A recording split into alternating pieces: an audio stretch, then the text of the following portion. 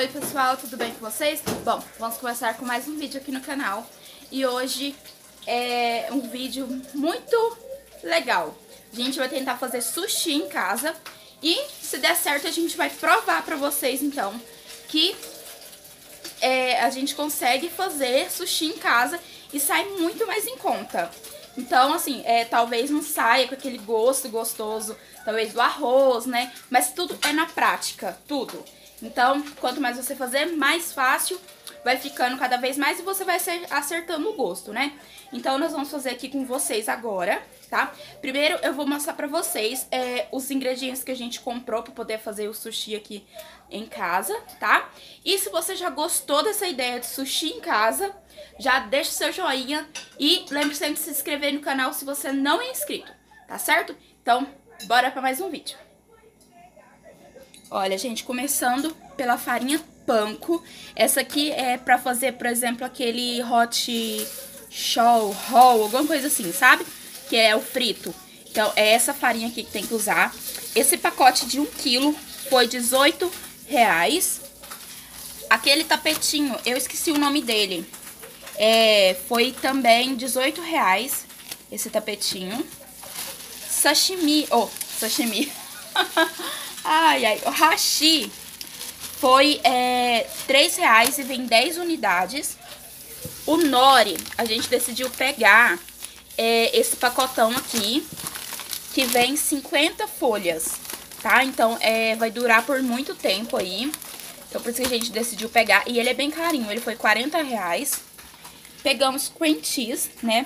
Que é, pode faltar no sushi, é muito gostoso.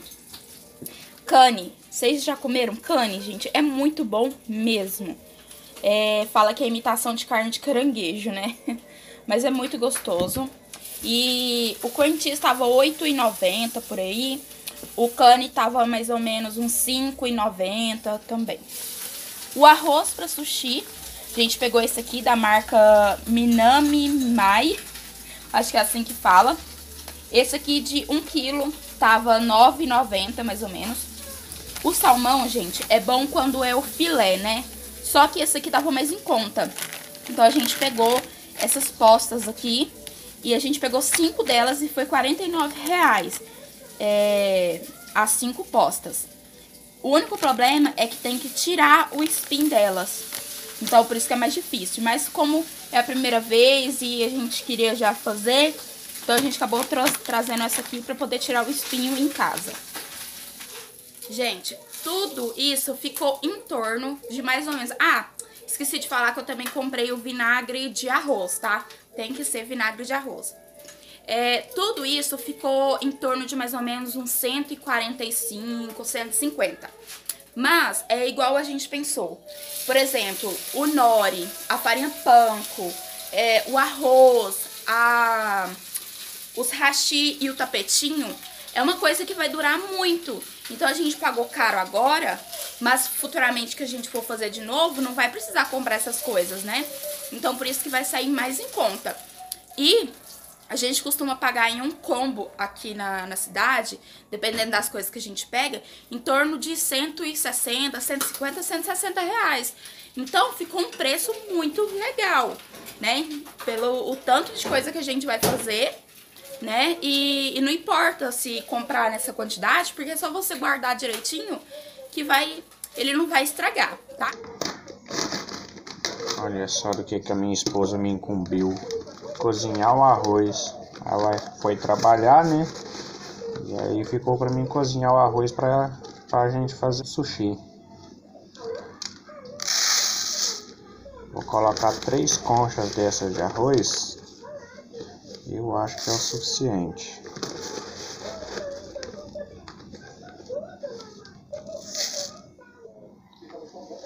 Agora eu vou estar tá lavando esse arroz, gente. Coloca um pouquinho d'água.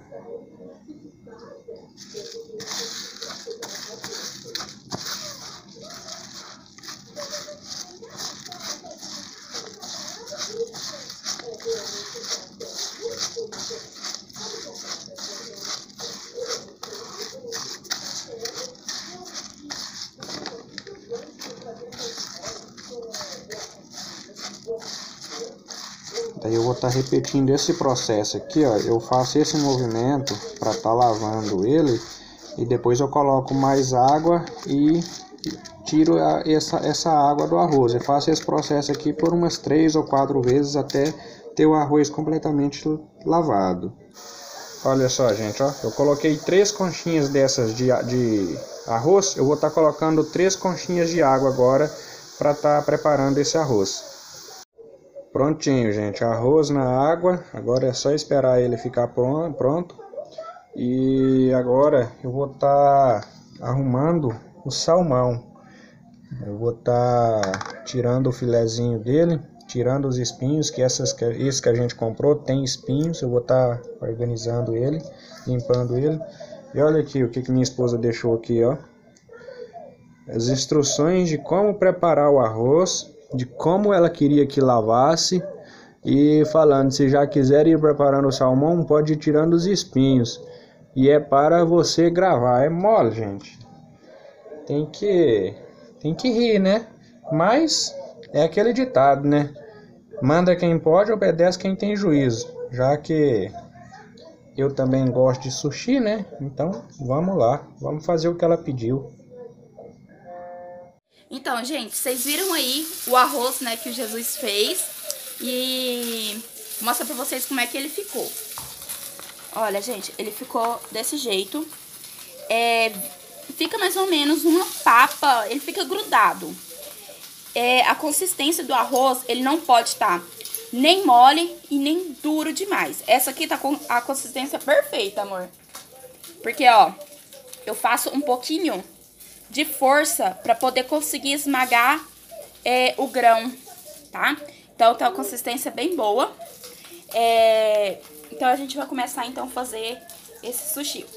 Agora, eu vou preparar é, a misturinha aqui, o temperinho do, do arroz, né?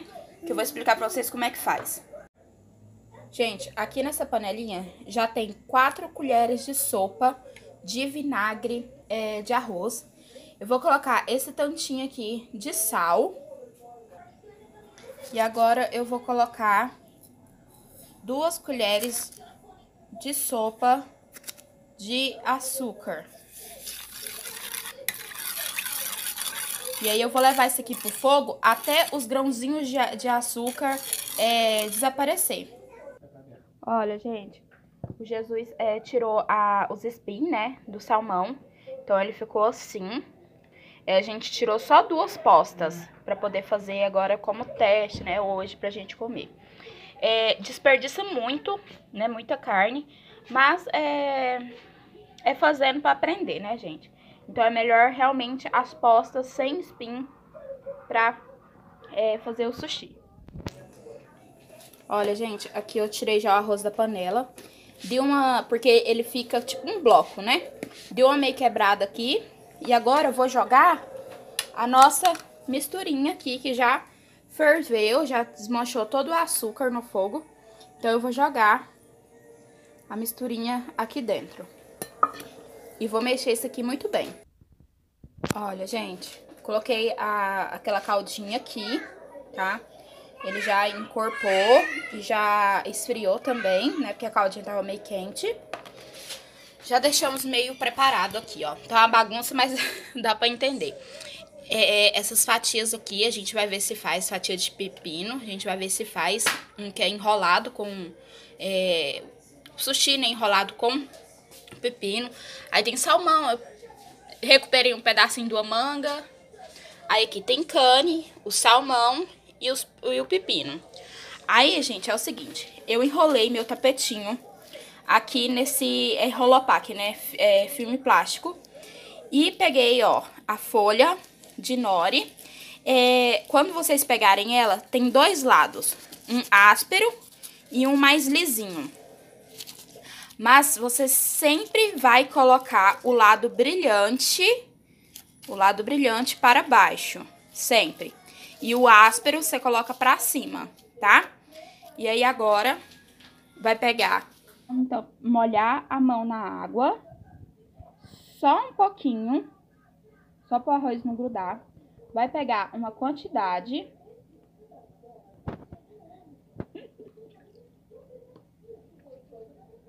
Ó, molha a mão inteira. Aí vocês vão pegar uma quantidade de mais ou menos é, uma bola de, de uma bola, ó, de mais ou menos, pode ser um limão, ou depende do tanto que vocês querem. Tamanho de um limão ou de uma laranja. Vocês vão colocar no centro e vai espalhar aqui no centro. Acho que eu vou colocar até um pouco mais. Ó, espalhou aqui no centro. Aí vocês vão fazer o seguinte, vai espalhar daqui pra lá, daqui pra cá, tá? Ó, vamos espalhar isso aqui do meio para as lateral. Não precisa estar tá apertando o arroz, tá? Se faltar igual faltou no meu, acho que eu poderia ter colocado um pouco mais, vocês vão espalhando, tá? Até coisar a folha inteira.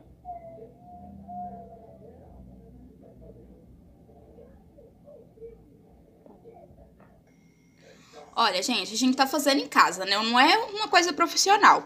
Então, nós colocamos aqui o cane, né? Só cortou ele ao meio e colocou aqui um ao lado do outro. E eu vou incrementar. Geralmente esse não tem cheese, mas eu vou incrementar um pouquinho. Então, vou colocar aqui. Só uma fitinha. E agora é a hora de enrolar. Pega aqui, ó, do jeito que eu tô fazendo. E, e ó, vai enrolando. Vai enrolando com a ajuda do, do tapete. Vai fazendo assim com a mão, ó, pra poder ele ficar certinho. Ó. Não tem necessidade de virar, tá, gente? Mas como eu não sou profissional, eu vou virar aqui só pra me ver. Ó. Vai tentando fazer o formato mesmo bonitinho do sushi. Não precisa apertar tanto, é só mesmo pra ele ficar certinho. Olha só, gente, deu certo. Olha, gente, pela primeira vez que eu faço isso, ficou muito bom. Ó, aqui ficou nas pontas, ficou meio desfalcado, né? Mas isso aqui a gente vai comer mesmo aqui em casa, então não tem importância nenhuma. E agora, gente, com uma faca bem afiada ou de serra, a gente vai cortar para poder fazer o sushi, tá? Gente, Jesus está cortando aqui. Eu esqueci de mostrar para vocês tanta emoção. Mas, ó, ele cortou no meio, depois é, cortou no meio de novo e no meio de novo. Agora, ele vai cortar no meio de cada é, um desses pedacinhos. E sempre, gente, molha a faca e limpa ela, tá? Sempre. Porque senão gruda e acaba ficando feio sua, seu sushi. Mas olha só, gente, que gracinha. Ai, que emoção. É bom limpar a faca, né, amor? Não é tá em casa mesmo? Ai, tô muito feliz que deu certo. Esse aqui é o de cane, né? Como eu falei pra vocês, que eu mostrei aí. Ai, ai, que emoção. Ó. Ele molhou a faca, limpou e molhou a faca. Assim, o arroz não gruda na faca e na hora de, de cortar o próximo não fica espedaçando. Esse aqui é a ponta, né? Tava meio desfalcado, que eu falei pra vocês. Mas, ó, gente, super fácil. Nossa, que maravilha. Gente, agora eu fiz aqui com salmão e cream cheese Gente, ó, ficou assim. É, esse aqui é de salmão e cream cheese, esse aqui é de manga, esse é de cane, esse aqui é de é, salmão, cream cheese e pepino, os sashimis, né? E aí, é, tem um desse aqui, é, no sushi mesmo tem um desse, só que ele é mais bonitinho, tem, ele é o salmão é mais cortadinho, esse aqui tava um pouquinho quebrado, então eu só dei uma, uma ajeitada nele aqui. Coloquei cheese no meio, esse aqui ficou mais bonitinho. Esse aqui, é, que é enrolado com pepino, leva é, arroz e o salmão por cima. Só que como o arroz acabou, a quantidade foi pouca. É, eu fiz desse jeito aqui porque sobrou muito salmão, tá? A pele do salmão, Jesus é, fritou ela. Gente, ó, depois de pronto. Então, deixa eu mostrar assim o geralzão pra vocês. Eu acabei colocando uma geleia de maracujá que eu tinha aqui. Ela tá um pouquinho azeda, mas não tem importância. Então, ó.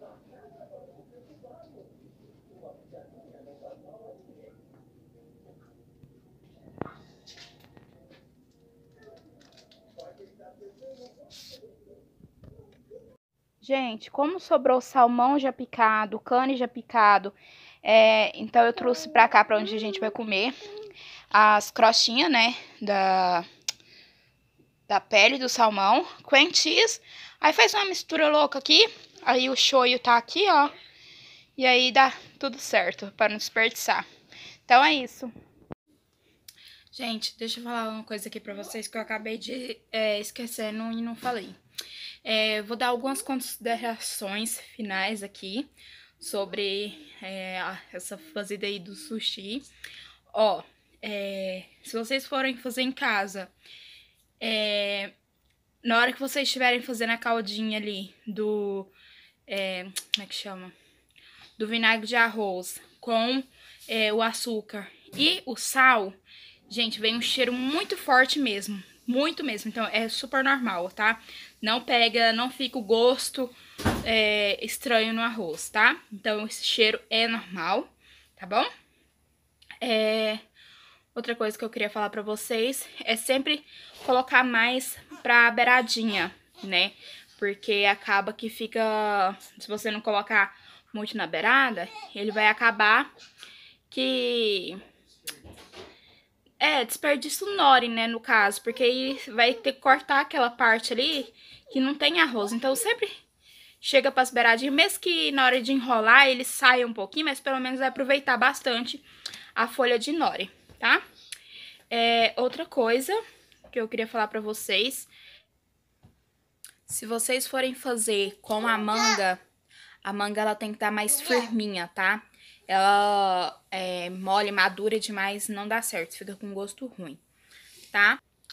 Gente, uma outra coisa que eu esqueci de falar pra vocês é o seguinte, é, quando vocês forem preparar é, o arroz para colocar ali na, no nori, sempre molhe as mãos, porque ele é um arroz que gruda bastante. Então, sempre deixar as mãos molhadas para você conseguir manusear o arroz, tá? Outra coisa que eu esqueci de mencionar é que quando vocês for colocar a caldinha, é, coloca aos poucos, tá? Coloca aos poucos e vai misturando bastante. Porque quanto mais você mistura, mais ele vai, tipo, grudando, sabe? Então, coloca um tanto, mistura bastante, coloca o outro tanto, mistura bastante, até vocês verem que a consistência tá meio... Não vou falar grudenta, mas que você consegue é, fazer uma bolinha com, com aquele arroz, tá? Gente, hoje eu não vou fazer o frito, porque o arroz acabou e já tá muito tarde, né? Porque eu saí do serviço daqui agorinha, então já tá muito tarde. Tipo, já são... Deixa eu ver... Já é quase meia-noite, então já tá muito tarde. Eu vou deixar pra fazer o frito um dia que eu não estiver trabalhando, tá? Mas não tem segredo. O frito, vocês vão fazer a enrolar, né, o, o de salmão, salmão e cream cheese, vai enrolar ali bonitinho.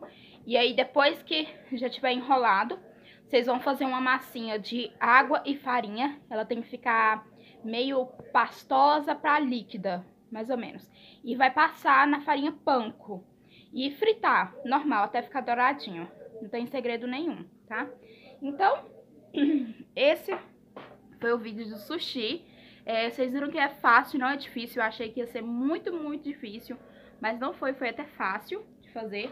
É claro que tem técnicas, né? Os meus aqui, por exemplo, as pontas ficaram muito é, sem recheio. Então, é, é conforme vai fazendo que a gente vai aprendendo, né?